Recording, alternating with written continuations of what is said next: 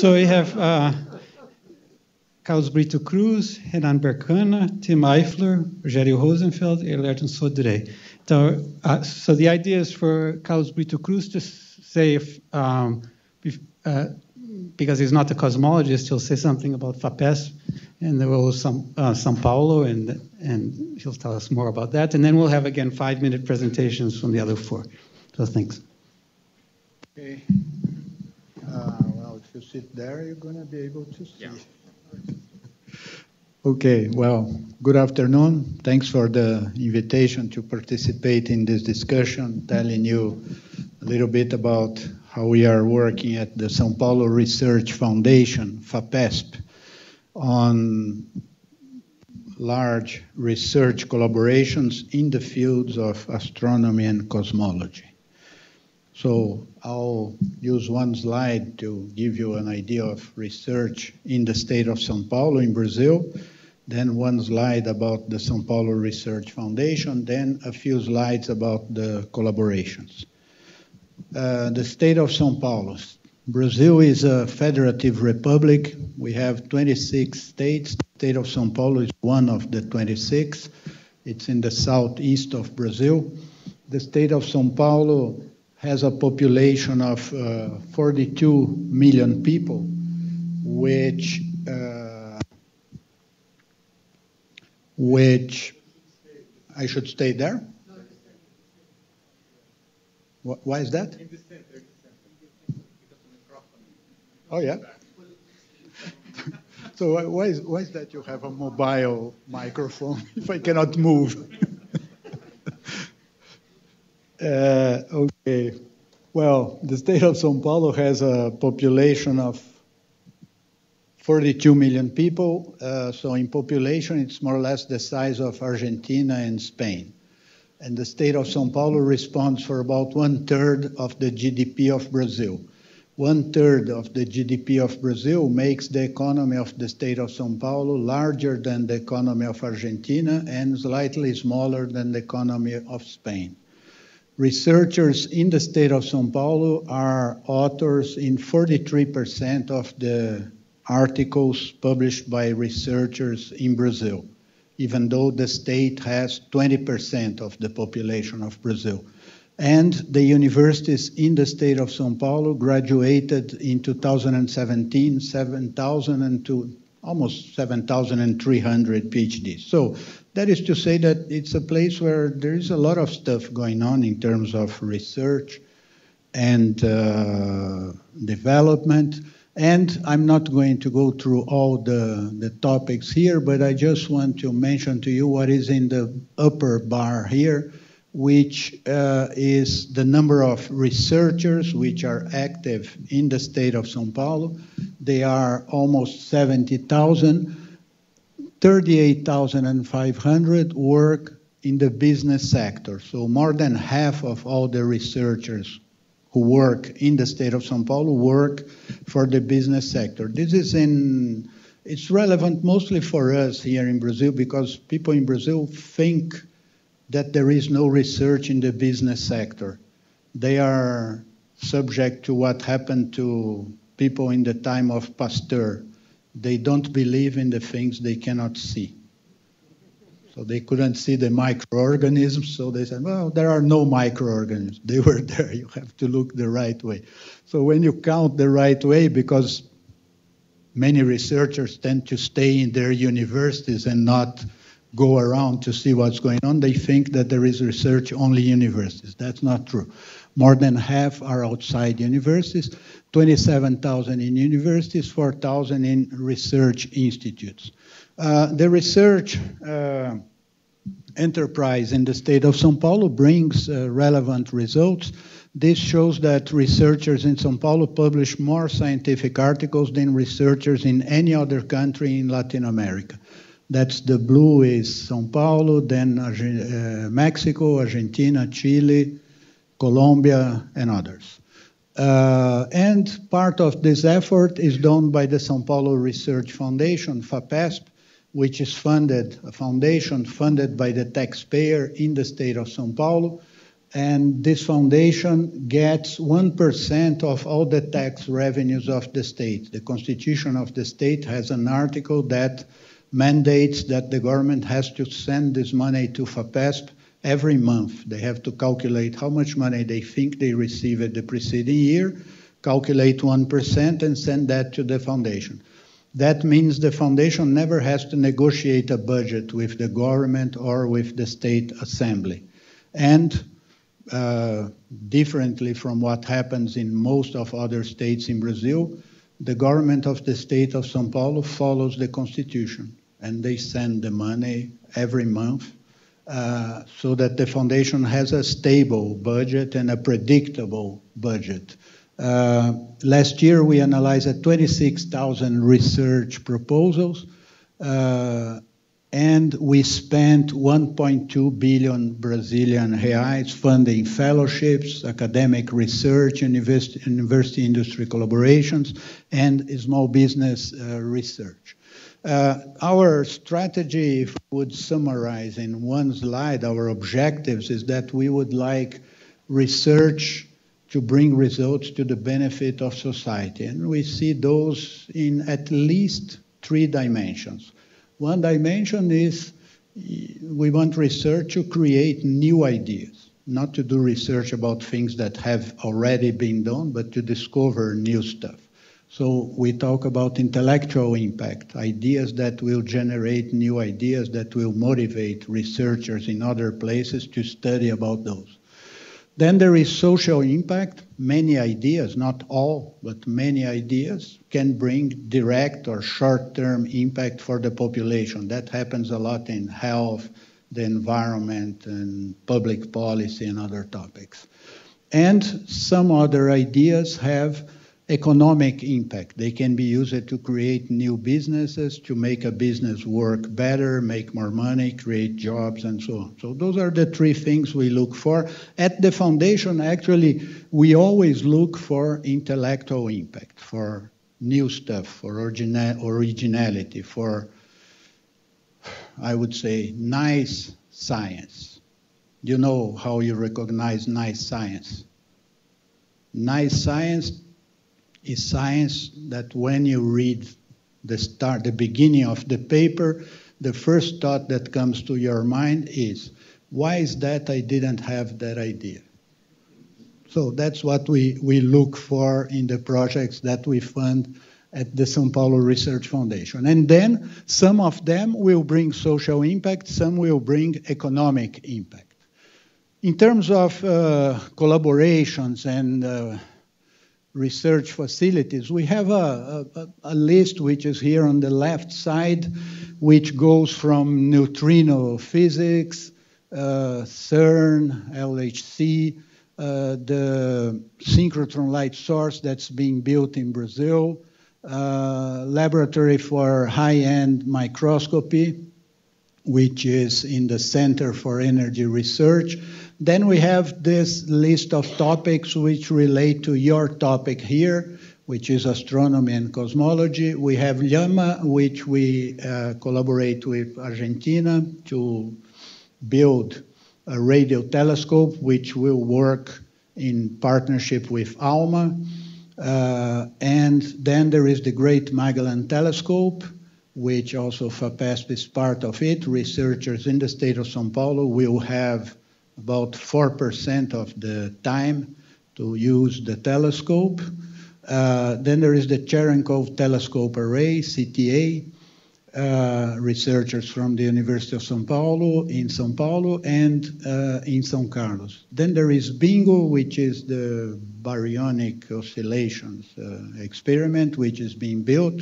They are finishing the decision about the location and working with the antennas that they are going to use. Then there is this older one, which is the Pierre Auger Observatory, which was installed many years ago in Argentina.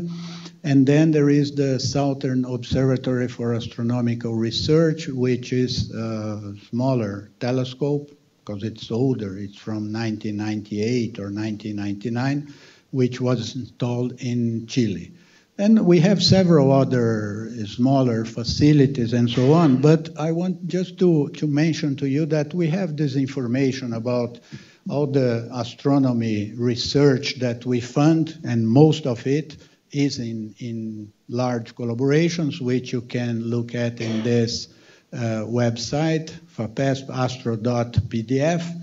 Uh, and uh, I'll just mention to you that in astronomy and cosmology in the state of Sao Paulo, we have about 145 principal investigators. Principal investigators in our calculation is, or counting, is the number of people who requested funding from FAPESP in a period of 10 years, in the last 10 years. So there are 145 of those in the state of Sao Paulo. And uh, again, in well, in three years from 2015 to 2018, we approved 145 grants for astronomy and cosmology. Uh, we spent, we contracted 230 million Brazilian reais in projects in the 10 years between 2008 2017 and those scientists are now publishing 600 articles per year. It's a it's a good number. And uh, in 2018 that represented 2.5% of the total world the number the total of the world in astronomy and cosmology. And uh, we are this is relevant for us because we know that this percentage was 1% in 2000. So researchers in São Paulo are becoming more productive, are participating more in this activity. This, uh, these activities happen in the city of São Paulo. They happen also in São José dos Campos. Then there is a, an observatory here. Uh, then there is Campinas and São Carlos, and it's very small in other other locations in the in the state. So this one shows the number of articles per year, which is getting to 600. Uh, this one shows the impact, the number of citations divided by the number of articles, which has grown steeply here since 2004, getting to be around two. Uh, and uh, that's the one that shows you that it's getting to be 2.5% with a special. There, there was a change in the slope here around 2008. Uh, in terms of the expectations of the foundation, when we accept, when we approve a grant to participate in a large collaboration, I try to summarize here the, the, the, what we think about. It doesn't mean we want all of those topics to be present. But we want to, we always discuss with the researcher about those topics to see how they can adjust or adapt their project to try to fulfill each one of those uh, criteria. One, of course, that's very easy. We do that because we want to facilitate international collaboration. But then we consider also the relevance of the participation of the researcher that we are going to fund. You know that it's not difficult to enter in a collaboration and not do many things which are very relevant and have your name on a paper. That's not what we are looking for. We are looking for participation in which they have a chance to participate in specifying the problem, looking for the ideas, finding the solutions to obtain the results, and so on.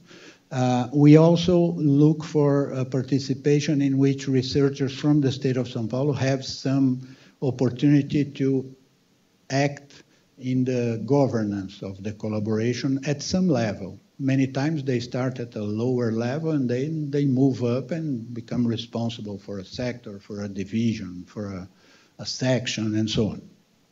Uh, then uh, we value the opportunities in which uh, they bring uh, responsibility for the development in, of instrumentation because that many times help us to involve the business sector in the state of São Paulo in the project. So we have had in all those that I have listed to you many nice cases of uh, projects that generated opportunity for companies in the state of Sao Paulo. Those companies had to develop some technology, and we can fund them uh, in parallel to the activity to develop the technology, and then they will be providers of uh, to the project.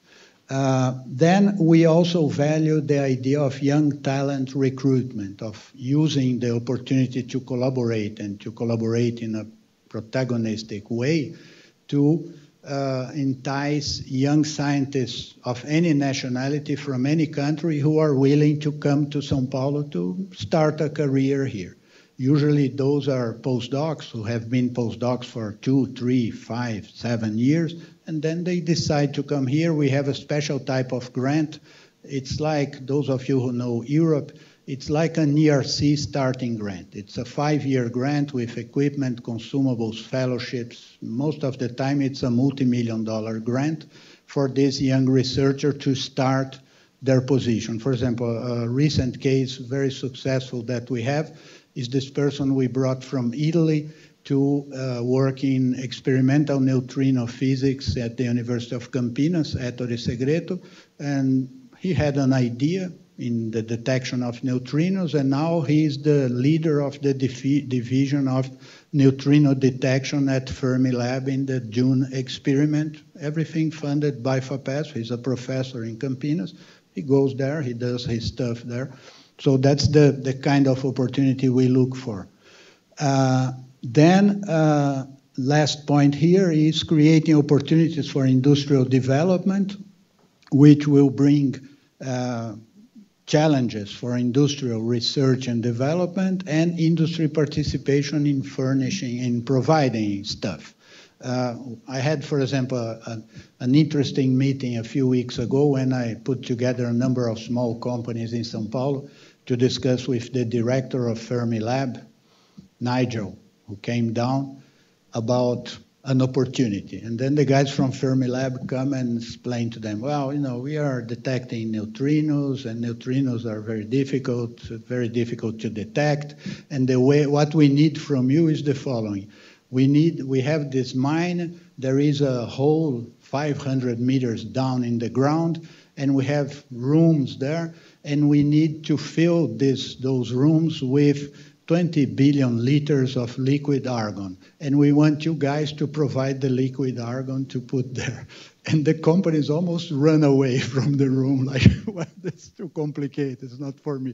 But then we, we discussed it, they understood that each one would do a small part of the thing. And then we are now building this consortium of companies who are going to put the 20 billion liters of liquid argon down in the ground in some place in South Dakota to detect neutrinos.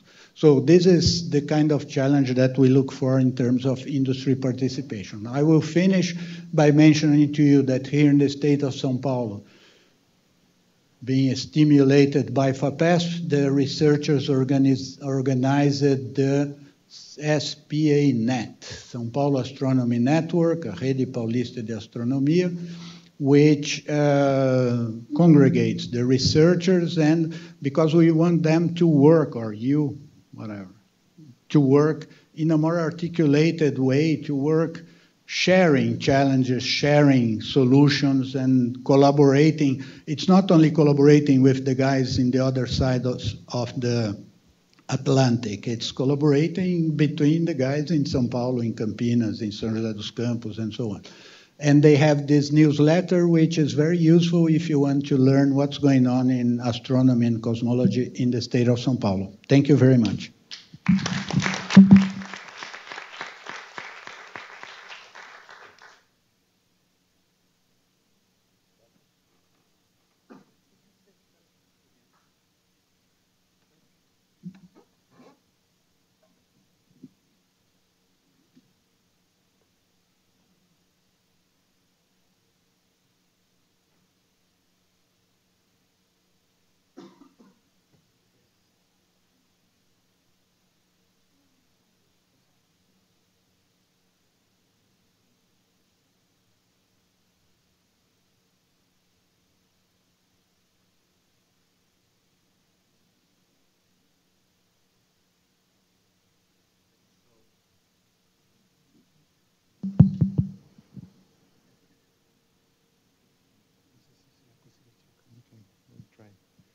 Okay, so for those who don't know me, my name is uh, Rogério Rosenfeld. I'm a professor here at the Institute of Theoretical Physics and also part of SAIFR, the uh, ICTP SAIFR.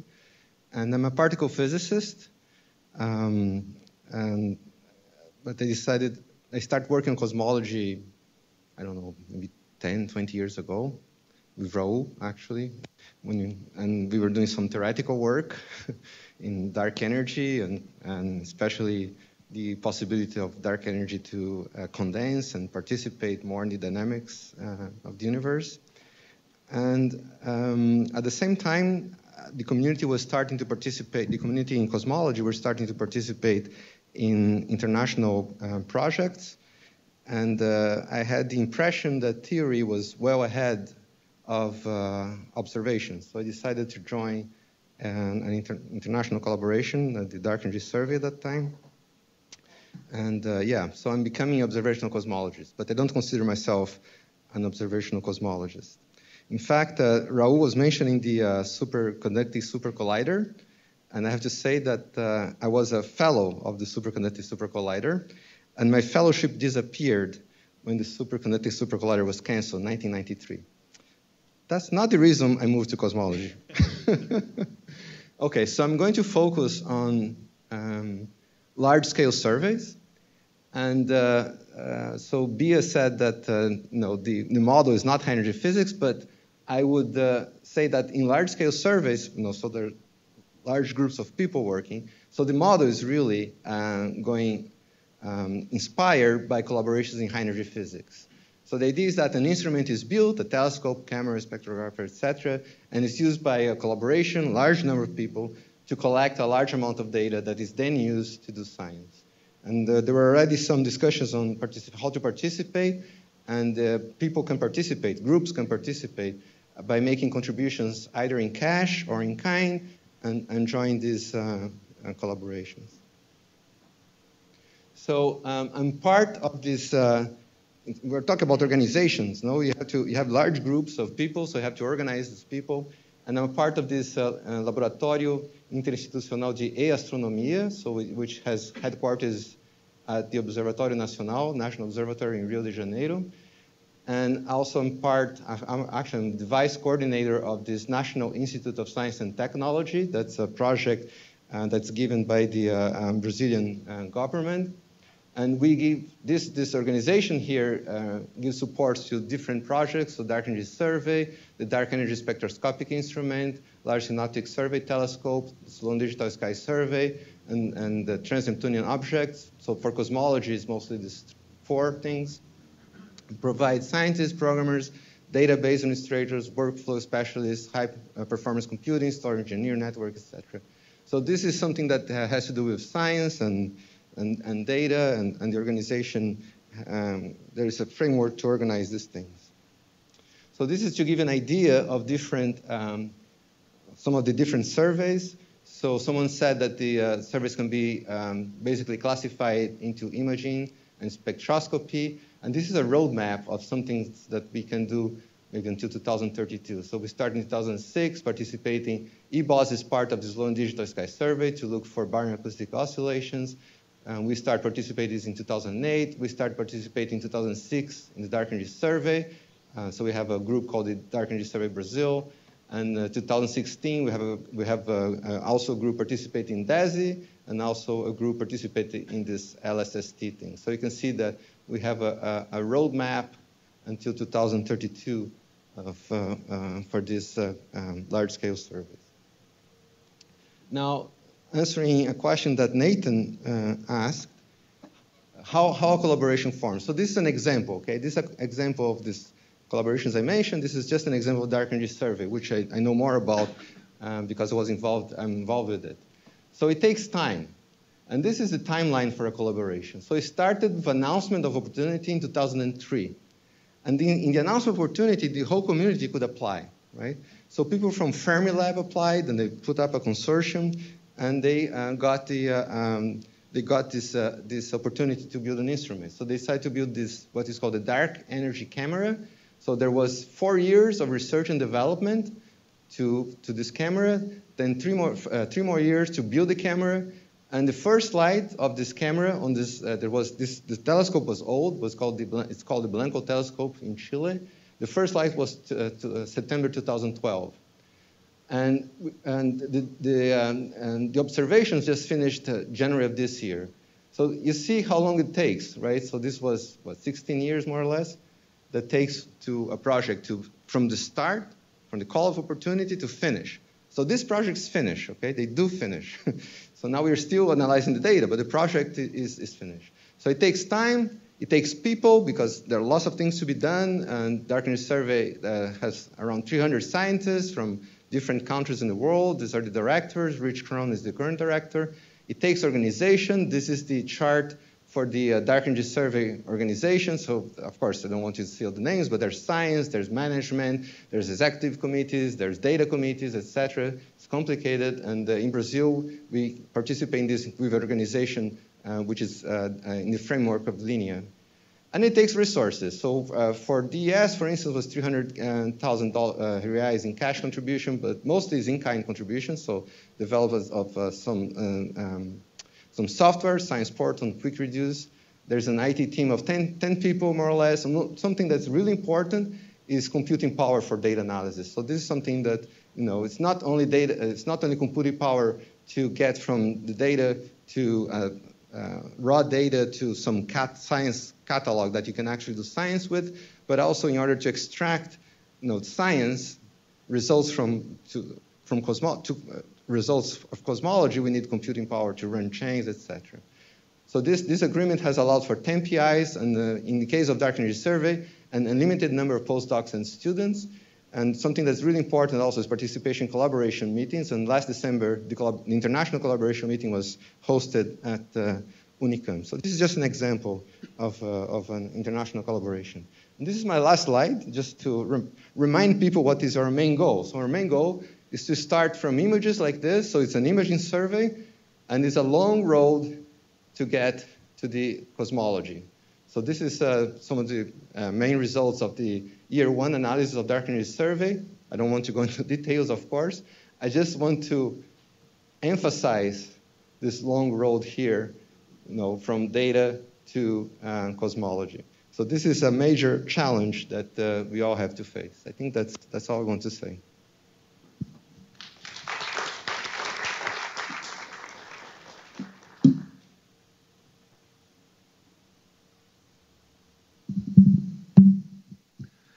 at the beginning of this meeting, Nathan, okay, no, don't worry. Uh, Nathan complained a bit about uh, uh, we have uh, three schools uh, at the same time. This is a, way of seeing the, the, this problem, but uh, the other way is to assume that we are in a thriving moment of our science in São Paulo, and thanks to FAPESP, because we see the situation in Brazil a bit gloomy right now, and but despite everything, the science in São Paulo is in a very good position, and uh, of course, everybody who works here know that FAPESP is responsible for that. I would like to start talking about SPANET that Brito just mentioned uh, a few minutes ago. SPANET, São Paulo Astronomy Network, is a kind of alliance between institutions uh, doing astronomy in this state. Uh, we don't have funds. We work with the funds of the projects. And we try uh, mostly to promote networking among the scientists within the state. The objectives are to optimize the use of the available resources and uh, increase the visibility of the uh, science done here in the state. Uh, by doing network uh, is important for um, senior scientists and mostly for young scientists. Uh, net allow sharing information, new opportunities, and allow for new collaborations among people involved. We have uh, done that mainly through the organization of uh, very informal workshops we have done uh, already workshops on radio astronomy, galaxy clusters, time series. We have uh, organized at the beginning of the year a school on deep learning in astronomy. and we are publishing an international newsletter four times a year. Uh, the next workshop will be in October on uh, instrumentation in astronomy. We plan to, to put together everybody uh, developing uh, instrumentation in astronomy in the state to discuss the challenges and problems that, that we uh, face and uh, look for common solutions. I participate in several collaborations, but I will just mention one here. That is the PFS prime focus uh, spectrograph uh, that should be put in the Subaru uh, telescope in the next year, in the, the next year. Uh, PFS is a, a, bet by the Subaru Observatory uh, to face the challenge of the big telescopes that uh, will uh, have uh, their first light by uh, during the next decade. As you know, GMT and probably ELT will have their first light during the next decade. TMT, I don't know what will happen. But um, in order to become competitive, uh, has an 8 meter uh, telescope with telescopes of much larger size. Uh, so the Subaru Observatory decided to, to build a very challenging instrument, a spectrograph with almost 2,400 fibers and uh, covering a very large field of view, 1.3 degrees those uh, of you who knows uh, the big telescopes nowadays, like Gemini, VLT, etc., all these telescopes in general have a very small uh, field of view. This is not the case of Subaru. It has the largest field of view amongst the uh, telescopes available right now. Uh, it's interesting to, to mention that why we are participating in this project. The reason is that Brazil is a member of the Gemini Observatory. In 2000, more or less, uh, we had a meeting in Aspen. I remember I was there with Beatriz, where uh, Gemini was discussing uh, their uh, its next instrumentation, and uh, in that occasion, what uh, was named WIFMOS appeared as a a very important instrument for the next gen, uh, instrumentation generation of Gemini. Due to technical problems, in particular the Gemini optics needed to be changed in order to support uh, multi-fiber spectrography with, uh, with, a large field of view, and uh, Gemini decided to do it with Subaru, but uh, after, not long after, they decided to give up of this project due to the lack of funds. The Subaru Observatory, on the other side, uh, received support from the Japanese government that recognized that this instrument would be very important for the observatory and decided to fund the instrument independently in a new collaboration that uh, is led by Hitoshi Murayama from the Institute of Physics and Mathematics of the University of the Tokyo University and uh, also Professor uh, in, in, the University of California. The participation, our participation in this uh, instrument is in kind. Brazil is responsible for the development of the fiber system of this instrument. This is a very challenging part of the project because the fiber system is the only subsystem of the project that interfaces with all other subsystems with the prime focus instrument, uh, and uh, in the other extreme with the spectrographs. I, I, would say that the organizational aspect of this collaboration is very simple compared with others, in particular with this that you just mentioned, because right now, most of the effort is put in the building of the instrument, and we have a steering committee uh, with members of the participating institutions. We have now 14 uh, uh, participations. Uh, and below this steering committee, we have mostly uh, technical groups developing parts, uh, building actually parts of the instrument, as well as the science groups.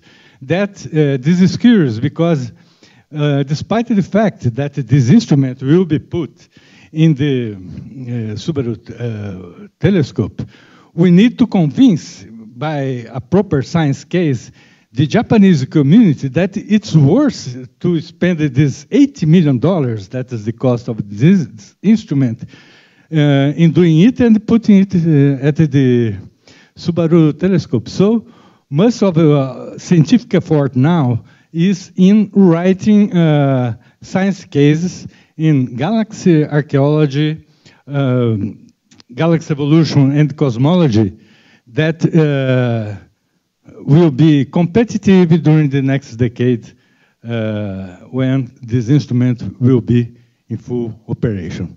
I think that uh, I will stop here.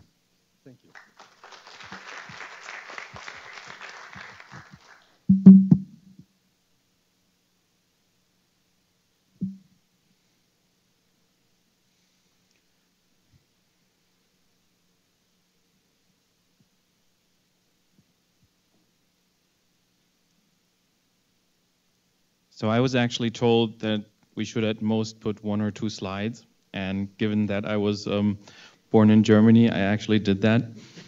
um, so I was thinking about um, what would be useful for me to talk about uh, here, here in this audience, also mostly for students. And I thought it's um, partly how did I get involved in large collaborations? What what happened at the various points uh, in my my academic career?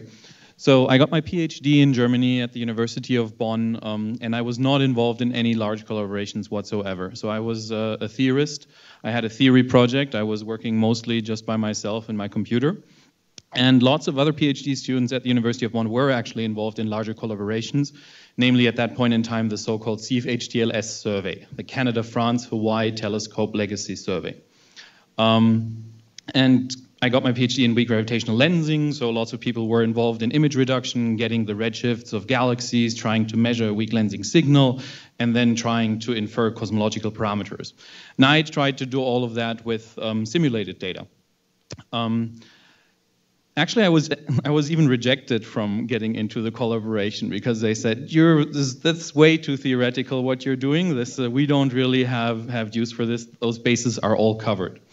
Um, and then I took their public data and actually applied one of these small theoretical projects, one of the well, cheap theory ideas, as I would call it, um, to those public data sets and show that there is still um, contamination in the data sets that have been previously uh, uh, undetected. And, um, well, of course, they then said, yeah, uh, we were completely aware of this. Um, and uh, but it is a nice idea. It is a nice method. We would like to integrate that, and and and you're welcome to join. Um, but that was already at the end of my PhD, and I actually moved on to my next position. So um, it was not a very successful start with, with large collaborations. Um, I moved to uh, the, the, Ohio State University. Uh, this is the football stadium which uh, encompasses, uh, which, which can hold 105,000 people. So um, that was quite, quite impressive to me. Um, uh, as a CCAPP fellow, and that's where I got involved in the Dark Energy Survey. So the Dark Energy Survey, um, Brazil is a, is a member of, of DES. Many people here in this room work on DES. Um, it's just completed survey operations. It has observed one eighth of the of the overall sky, 5,000 square degrees. Um, camera field of view is actually 3.1 uh, something square degrees. Um, so it's a very large camera. It can map the sky very rapidly, and it's a fantastic data set to do cosmology with.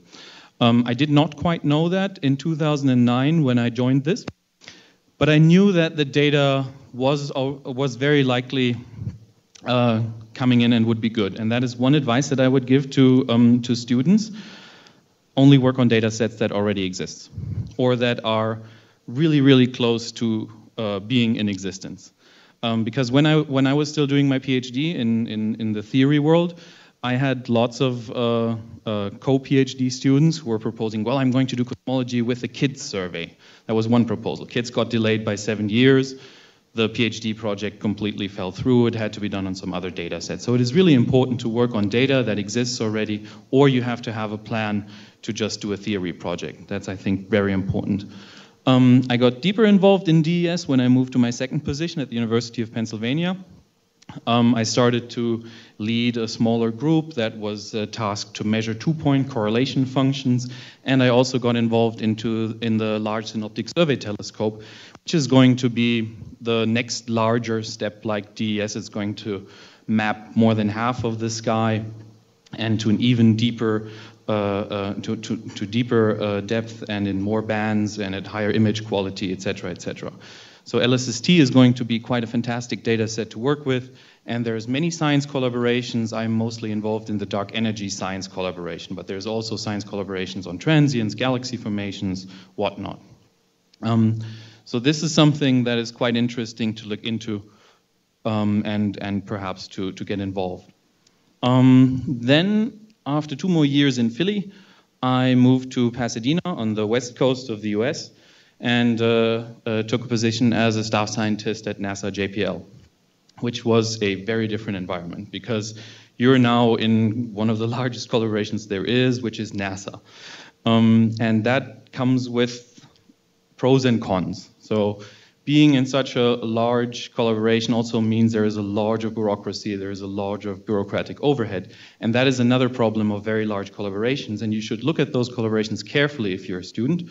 And you should ask your advisors is this a collaboration that has a lot of bureaucratic overhead?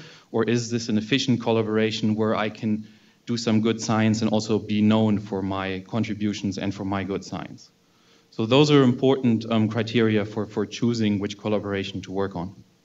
Um, at NASA, um, I worked on a space mission which is called WFIRST Wide Field Infrared Survey Telescope, um, and also a smaller mission. So this is a, what NASA calls a flagship mission. Flagship missions are very expensive. This one is supposed to cost 3.2 billion dollars. The current flagship mission that's in the news for cost overrun is JWST, which is very expensive um, now. Um, WFIRST is still on track in terms of its budget. Um, and also a, a, smaller mission which is called SPHEREx. Um, that is an acronym, but I'm spectrometer of something. Um, it has many different science cases, but it's going to be an all-sky survey in very many different bands. It is not going to be very deep, but it is an all-sky survey and should provide a very interesting data set to look at. So those two missions, um, WFIRST and SPHEREx, SPHEREx was recently funded. It is a NASA MIDEX um, mission that's up to some $250 uh. Um, uh, supposed to launch in 2023, supposed to launch in 2025. Um, don't necessarily take those dates for granted. Um, they do tend to shift backwards the closer the launch date actually uh, becomes.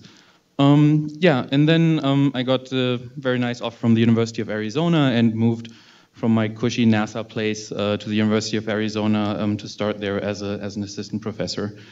And um, uh, the University of Arizona is also involved in DESI. It is an institutional member of DESI.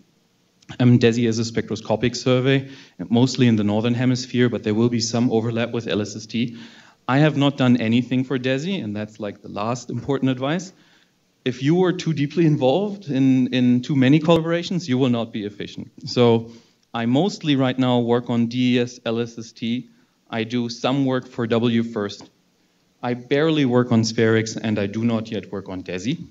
Um, but depending on if one of these data sets gets more and more interesting, and it is very interesting to look into combinations of these data sets, then, um, then this might shift.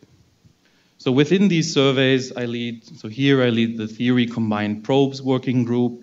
Here I lead the weak lensing working group. Here I lead some um, mission forecasting deliverable to look into what is the science return as a function of if you change the survey strategy. Do you want to go deep? Do you want to go wide? Do you want to just use one band? Do you want to use many bands? Those are all decisions that are interesting to explore. And a lot of this involves coding to forecast these um, uh, these science endeavors. And that's actually what I do most of the time when I'm fed up with uh, some of the committee work or the administrative work, I just go and code. That's very nice and very relaxing. Okay, thank you.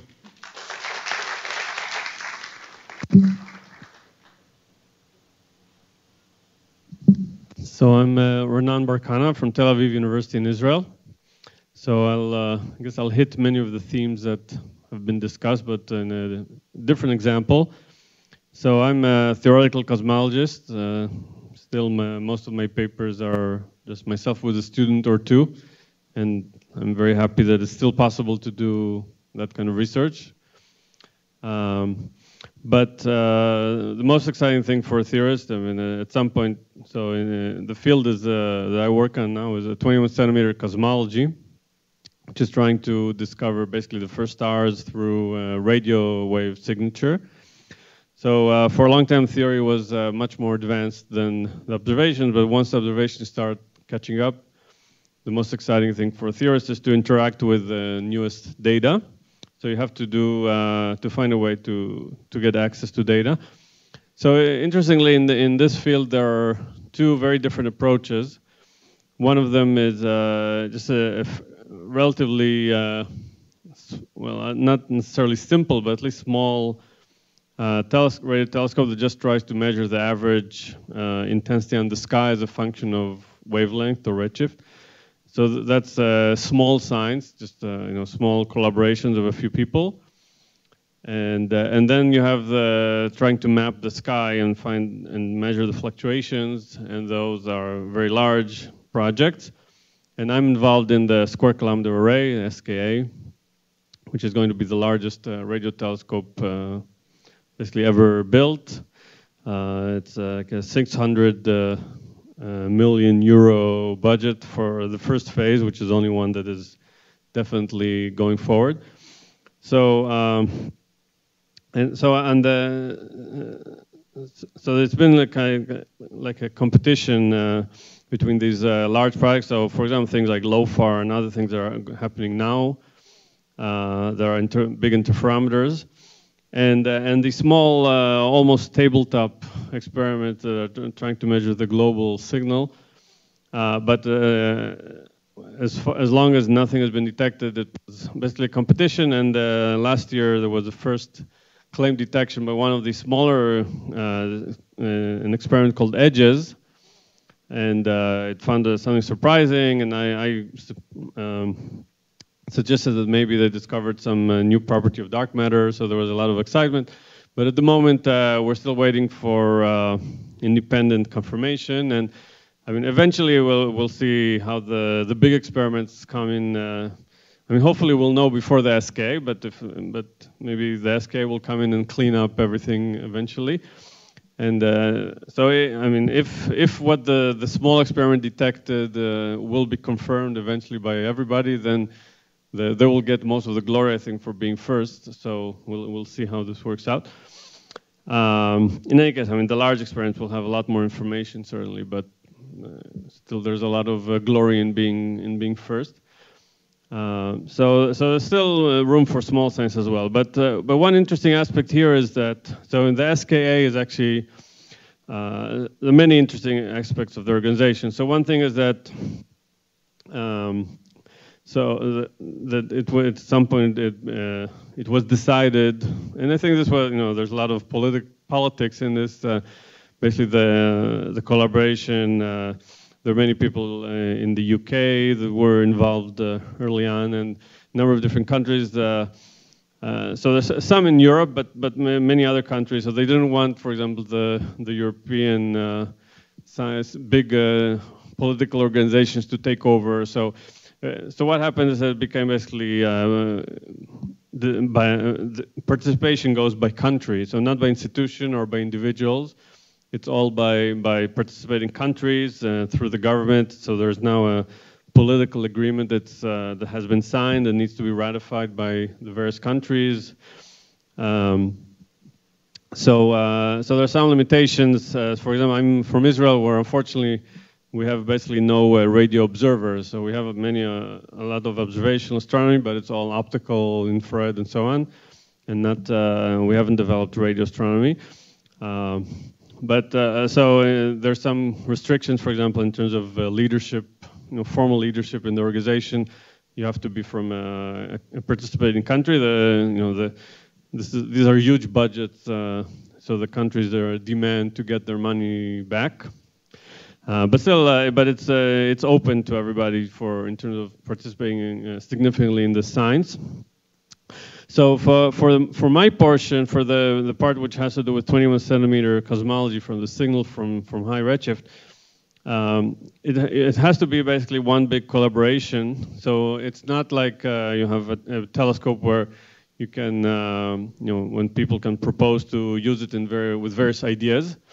The the issue is that um, in in this subject, uh, our own galaxy and other radio galaxies produce a huge foreground, which is much much brighter than the cosmological signal. So before you can even think about doing anything with the the redshift signal from first stars, you have to clean out all the foreground very, very, very precisely. So you need to calibrate basically perfectly because again, the foreground, unlike the CMB, uh, for example, there's no uh, there's no frequency where the cosmological signal is brighter than the foreground. The, the foregrounds are always much, much brighter. So it all starts by uh, cleaning out the foregrounds very accurately. So, for example, LOFAR uh, has uh, like 30,000 radio sources, uh, point sources in the sky that they are actively subtracting from the map, and I guess SKA will have even more. So, uh, so you, because of this, this first step is, is huge, and it's really the, you know, the, the biggest problem, and this has to be done before you get to the science. Uh, it only makes sense for everybody to work together um, so that the people who clean the map get, get credit for everything else that wasn't possible until uh, this first foreground cleaning. Uh, but, uh, I mean, as a result, uh, it was a little bit sort of funny that you know, in the first few meetings of like, the science working group, uh, there were many, many theorists and very few people who know anything about how to clean the data. But the theory won't get anywhere without uh, practical people who know how to know, you know, model dust uh, and uh, and all kinds of things, and you know, and do calibration. So. Uh, and the other aspect is that, so, so I, I, I, try to participate in, in the meetings and and do some some work for uh, SKA. But as much as, as possible, I try. I mean, it's pretty na naturally most of my work is aligned with the, the SKA, you know, 21 centimeter goals in, in any case. So I don't want it, uh, specific SKA work to take up too much of my my time, just because it, uh, the timeline is, is a bit unclear. So or or a little bit long term. So now they're saying the, the it's it, it is actually going forward. A lot of the funding is I think uh, is going is there. Uh, I mean it's not maybe completely uh, finalized. There's still I mean uh, like a month ago New Zealand decided to uh, to go to go out of the of the project. Although just you know it's a tiny contribution anyway, relatively, but. Um, uh, there's, the plan is for 2025 to start uh, really getting uh, preliminary data. But then who knows how long it will take to, you know, to learn, to study the instrument and to calibrate it. The, in this whole field of uh, dealing with the foreground, you have to be very careful. I mean, there have been some, some published claims that were then retracted for upper limits uh, that turned out to be incorrect. So, so there's a learning curve in this kind of new field, and and who knows when uh, we'll get real, uh, the first real reliable result from the SKA. Uh, so you, you, don't want to really plan your whole uh, career based on based on that. You, it's nice to participate, and eventually, hopefully, very good things will come. And the other thing is uh, bureaucracy. So you know things have gotten delayed. There's been a, a cost cutting. Uh, you know, one at least one major. They called it rebaselining, basically cost cutting because things were getting out of and, and you know, the whole thing is, is a big part of the cost of these um, of these projects in radio astronomy, uh, you know, is uh, is basically computational because you, you have lots of antennas uh, out in the field, and it's the computer that puts them all together to one telescope. So you're basically projecting to what will be the you know a, a supercomputer that you can afford in 2025, and hopefully know, Moore's law in some some form continues to go, and and that, so there's quite a bit of uncertainty, I'm sure, about that still. Um, because of that, you have to be a little bit cautious with the with the timeline.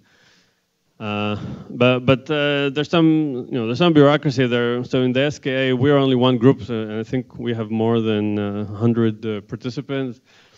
And uh, but there's something like 14 or or something uh, different working groups because it's all of astronomy. All of astronomy basically has some uh, radio astronomy aspect.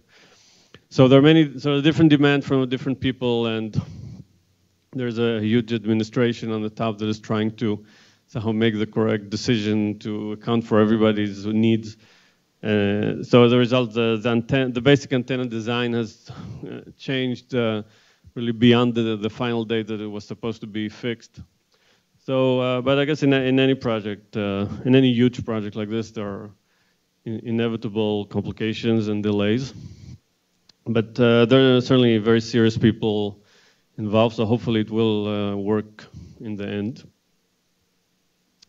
And uh, uh, so, uh, so I think hopefully, you know, more generally, we can have this balance of small science still being possible because it's the nicest thing. It's a, the place where creativity is is most uh, you know apparent, easiest to to manifest, and also large collaborations because uh, you can't compete with you know with new instruments that are much more sensitive than anyone else.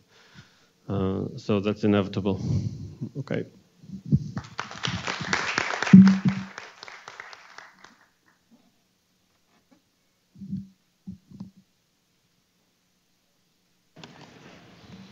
Questions? I can start with one question. So, are any of these collaborations exclusive in the sense is there some obviously they're doing similar things? Can I, I mean, are you allowed to be in as many collaborations as you want, or can you share results between collaborations, for example? There's a microphone here. Hmm.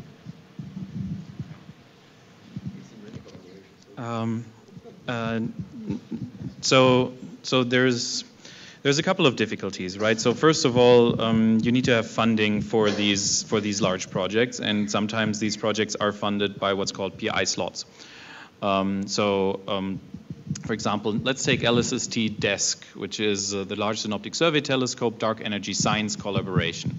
So LSST, um, I think, shares data rights all across the US, but now there's been recently some very murky re reorganization of how data rights will be distributed to the international community, and that's all a little bit up in the air as of two, two-ish months, I believe. The dark energy science collaboration, I think you can join very, very easily, but that does not give you any kind of data rights. That does give you access, though, to the DESC specific tools. So if you're a theorist, if you want to act, uh, interact with uh, other theorists, if you're interested in the DESC simulations and want to use the DESC simulations, you can just join that collaboration, just costs you an email. Um, but if you want to analyze the data, uh, I think that's, that's more involved. Um, DES, uh, you have to be at a DES institution or you have to work for somebody who has DES data rights.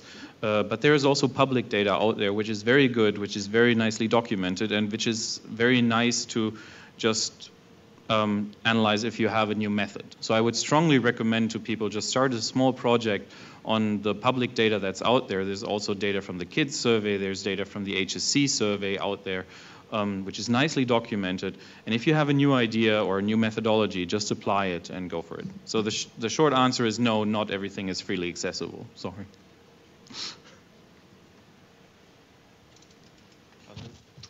I could say the same for PFS. Uh, PFS should start the Subaru strategic plan, say next year, and the survey will take uh, uh, almost five years to be completed. And during this period, we should have uh, uh, two or three data releases when the data then are public for everybody.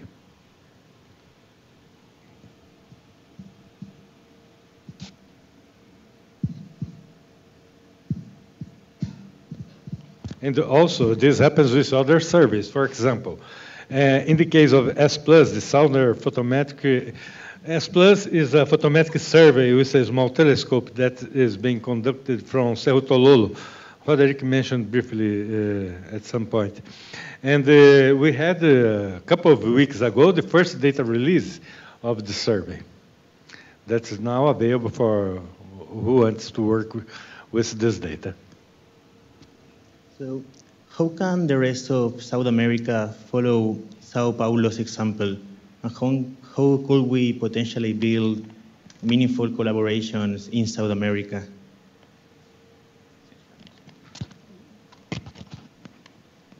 It's mostly aimed at the first presentation because I think it's really incredible what's happening in Sao Paulo. But yeah, I'm wondering how could it permeate to the rest of the territory? Yeah. Uh, the, there are some initiatives to, to establish certain collaborations among research or starting with researchers in Latin America. Uh, but, you know, one of the things that tends to hinder that is the fact that most countries are not willing to commit funding for complex and large things in science that might take 10 years to get to a result. So this is a, a complication. But for example, when, when Brazil decided to, to build this synchrotron light source, uh, the researchers who were who created the idea tried very hard to obtain uh, interest from other countries in Latin America, which they did. There was interest, but no government was willing to commit to the cost. So Brazil decided to go at it alone. And they did the first synchrotron light source, and now they are finishing, we are finishing the second one. So uh, it is challenging. There, there is one collaboration which more or less goes in this direction that you mentioned, which is the project Bingo, which I mentioned briefly. Uh, because a relevant part of the leadership of the collaboration is in, is in Brazil and it's from Brazil, even though they are working with the colleagues in Manchester and Jodrell Bank and other places.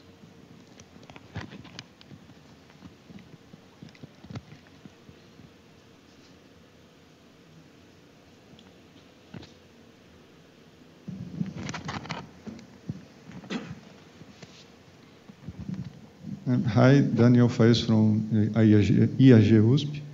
Uh, I would like to know your opinion about uh, the connections with, from the universities and FAPESP with the industry, because I think participating in instrumentation of these projects involves high technology, and this means investment and probably having some common goals between academia and uh, industry. And also, we for uh, what I'm mostly involved is uh, optical instrumentation for astronomy, and instrumentation could be a, a bargain chip for uh, participation in, in, such projects. So, if we could create a common institution for that, I think that uh, would be very helpful when negotiating to join in new, new projects. Just, just an example of a common goal, right? And also, uh, so in, in, in, this point, I see uh, a good example that Laerte brought that uh, probably, well, not probably, but uh, uh, LNA, we are doing the fiber optics for Subaru because we had a, a previous good experience or a training in some sense at Solar Telescope so um, it's, this is a good example to say how it's, how it's hard to do high-tech technology with, without a planning or a background. And yeah, that's it. So uh, I'm just sharing some thoughts, and I would like to, to hear from you.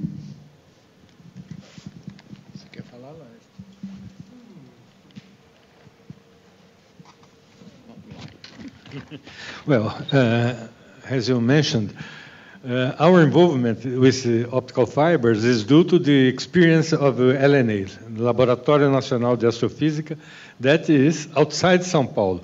Despite this fact, FAPESP is responsible for most of the equipment that is there. Uh, I hope that Brito is not hearing me. And, uh, uh, and actually, we were able to start in LNA a very good expertise uh, in this uh, sector of engineering. uh, developing instrumentation for the solar telescope, as you mentioned, and also building detectors and small uh, cameras for uh, uh, observatories abroad. This led to, I would say, to a constitution of a group of very good expertise on optical fibers in Brazil. And uh, that was the motive why we were accepted in the PFS collaboration, because people knew uh, before the expertise that we had.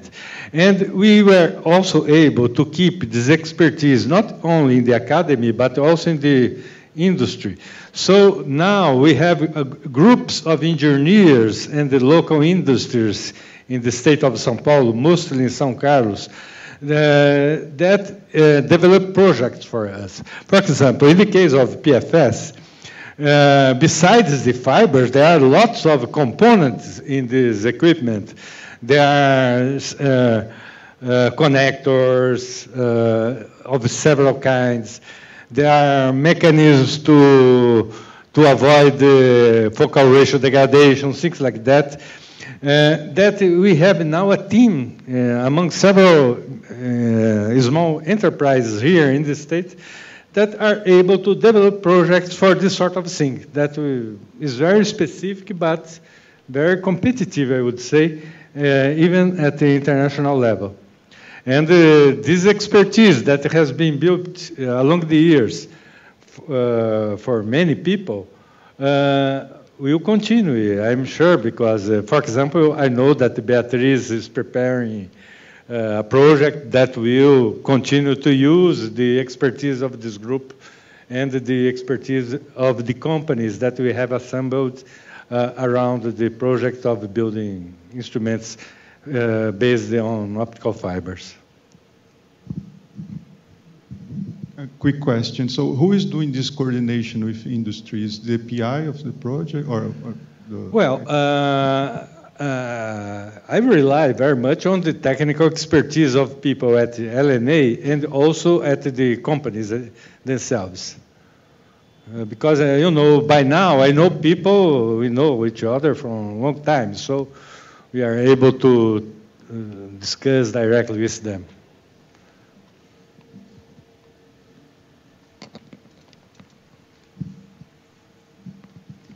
I'm Alessandro Ederoclite from uh, IACE. Um, I have two questions, in fact, completely unrelated to each other. Uh, so let me start with the, perhaps the difficult one.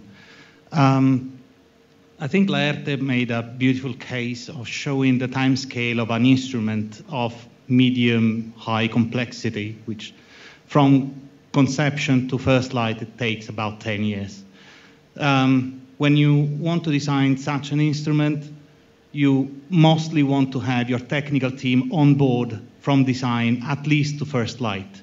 So, um, and I, I wonder if um, most of you guys in various collaborations have the, have the same feeling. But most importantly is um, how do you manage to keep, for example, a mechanical engineer or an optical engineer um, inside a project for 10 years because you try to have a, um, optical engineers as students or postdocs on soft money. They get contracts of two, three years. They build.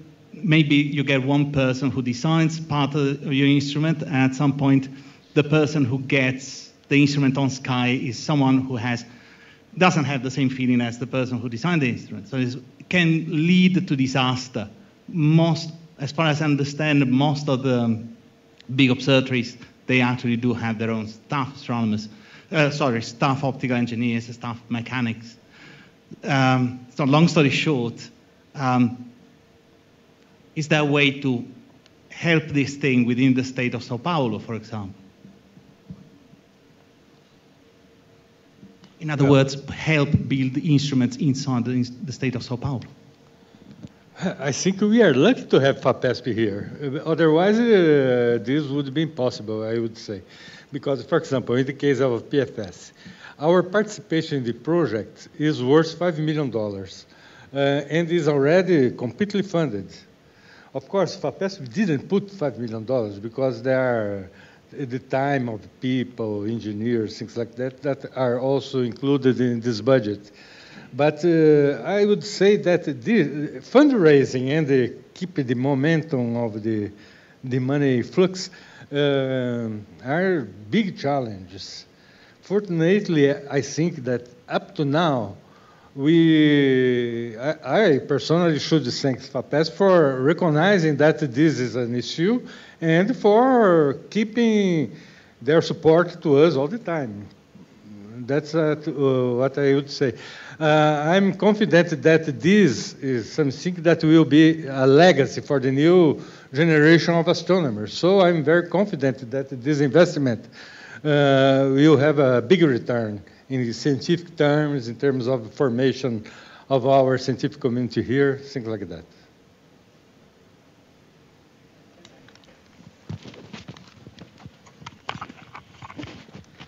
I, I would add here that the way we see that from FAPESP is that the universities that host the project must come up with some support of exactly the type that you are saying. If a university wants to have a PI who has a $40 million grant to do some complicated thing that's going to last five, seven, ten years, this university must be willing to hire one or two or three engineers. If they are not, we simply don't award the money because it's, it would be a waste of money. And every university in the state of São Paulo, or the main research universities, if they want, they can. When they say they cannot, it's because they do not want. It's not because they cannot. Because, I mean, a university like the University of, you work at the University of São Paulo. How many people work there? 10,000. I'm an astronomer. I count one, two, many. okay, many. many times 10 to the whatever.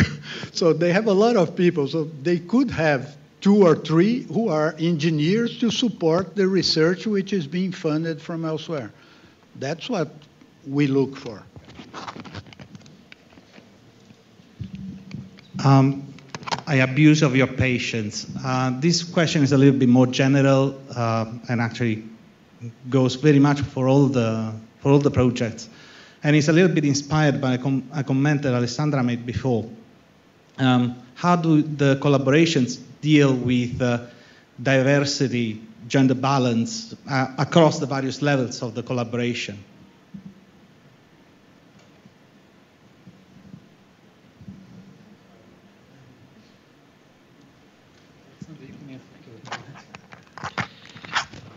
So you're you're asking an all male panel about that. Just just pointing that out. Um, yeah. Well, I guess there's there's no way to hide that. Um, um, this could be done much better. Um, this has um, started recently, I think, to become a more important topic in all collaborations, as far as I can see um, but it is not handled extremely well. So, I mean, in terms of formalities, um, there is a diversity and inclusion uh, policy in DES and LSST DESC. Um, there is very clear policies about um, well how to behave during collaboration meetings, etc., etc. There is ombuds people who you can talk to. There is confidential um, uh, people in the collaboration uh, where you can bring bring issues to. Um, but in terms of like gender balance um, across leadership, there's no rules like that, right? There is not a quota or anything. Um, it is in people's minds, and I think um, it's gotten a bit better, but there is still, I don't know. So, so there's places where I see this, which is, you know, if in telecons, for example, right? If somebody with a very deep voice very confidently says something, that is usually not that harshly questioned. Whereas some, uh, if there is a junior female person saying something, that is sometimes questioned at a um, unjustified, scrutinized level, which is, um, and I think that's that's something where uh, senior people have to just be aware that, um, that, that, that there is some behavior that is just in these, uh, imprinted in these large collaborations that you need to actively uh, uh, try to, to even out. That's not, that's not very easy. It's not quick. Um, I also know that in, uh, uh, in, in Euclid, I mean, you, you, perhaps want to say something about that. There is now the attempt to, um, uh, to, to increase gender diversity, but I also heard the story. I'm coming from Europe, most of my science friends are still in Euclid. It's like the publication board, which is uh, led by my former supervisor. It's all male. Um, Peter Schneider. um, yeah, so that and and that caused some. Uh, uh, well, I mean, it was noted. Let me put it that way. So I think we have a long way to go, and I think um, it is important for everybody to note that even in very small settings, like in in telecons, right, it is important to kind of be um, well, to, to be very careful how you what you what you criticize, right? You should never criticize a person, etc. You should criticize the topic, and so on. Um, there's a long way to go still. Yeah. Yeah, I mean, uh, diversity is a very complicated issue. Um, so uh, it's very tricky how to address it, so I don't want to get into that. But yeah, my comment was that Euclid is trying to make an effort, and I, I see that they are successful in certain things. He's referring to a funny, let's call it funny event at the U- last Euclid Consortium meeting when Peter Schneider was talking as uh, he's the head of the board of, uh, not board of examiners, editorial board and he was showing in one slide all the relevant people in that board, and it was a slide of senior male scientists. So somebody from the audience, unfortunately a young woman, so that didn't help, asked, raised her hand and said, uh, uh, I don't see much diversity in that board. And there was total silence, 400 people silent, and Peter Schneider replied, got upset and he said, I was given the task to form this board. I chose the best people for this job. End of the story. And so it was perhaps not the best reply, but the most striking thing is that nobody of the 400 people in there said anything at the time. Then they, I mean, there was a reaction. So now there, there is an open call for new positions in the editorial board, and they stress the fact that they will be very careful uh, with diversity when giving this new position. So eventually something happened, but yeah. yeah. I just want to quickly add, so I'm not part of the Euclid collaboration, but that story has reached me. um, uh, in, in, DES, uh, one of the uh, science co-chairs, so basically the highest scientific position that we have is, is a woman. Uh, in DESC, in LSST DESC, the spokesperson, uh, Rachel Mandelbaum, is, is a woman. I think DESC is generally doing uh, quite a good job at this, and generally it is a, a very democratic institution. So in terms of the, spokesperson is elected, right, by the members. So you become a member of DESC, you elect the, the leadership. There is a collaboration council which makes the most important decisions, it's also elected. Um, and I think these people have recognized that in order to cover like the broad bases and in order to fully exploit uh, all the potential that you have in a collaboration, you have to uh, build a diverse leadership. I think that's been noted at least in, in, in those collaborations. Yeah.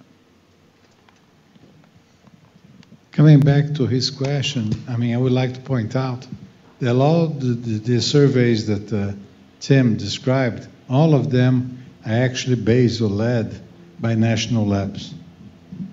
SLAC, Fermilab, LBL, involvement of NCSA, NASA. So it's very hard for universities to do that, basically. I mean, and in Europe it's based on governments.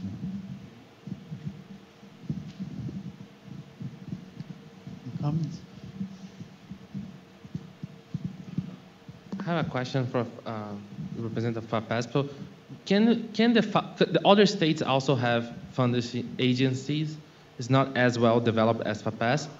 Uh, but can um, the, these FAPs make regional agreements? For example, you need a Rio de Janeiro, São Paulo supercomputer so we can archive all these collaborations and make the analysis. You know, something that you know it can it can do between the federal government that funds really big projects and things that are just for you know uh, one state. Uh, so that's my question and my comment for the diversity part, because I think that's something that I can comment. Yeah, is that at least in the collaborations that I've been working, that with DS, SSD, it was really nice. I had a, never a problem. But one thing that I, I see is that in order for this diversity to reach up, uh, uh, the, the, the, hiring at the universities need to be more diverse. If, if we still have only 10% of women in the physics departments, uh, we one will oversubscribe this 10%, and two, uh, we will not reach balance in the uh, you know in the decision board. So it's something that has to be across, you know, not only collaborations but also universities.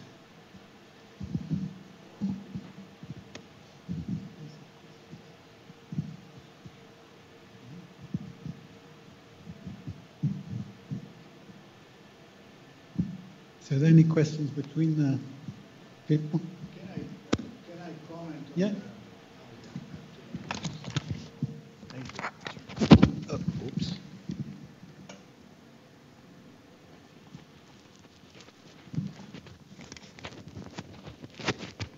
Yeah, you, you asked about collaboration with funding agencies of other states in Brazil. We do that many times. Uh, the challenge there is that most of the time the funding agencies in the other states have difficulties to commit to large commitments and long times.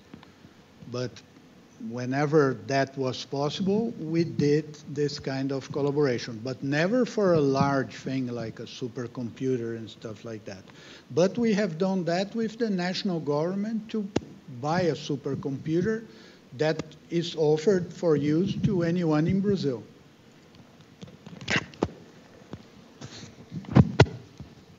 Any questions?